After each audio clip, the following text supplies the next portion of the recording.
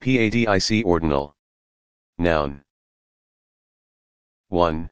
Number theory, a function of rational numbers, with prime number p as parameter, which is defined for some non-zero integer x as the largest integer r such that pr divides x, is defined for some non-zero rational number a slash b as the p-adic ordinal of a minus the p-adic ordinal of b, and is defined for 0 as infinity.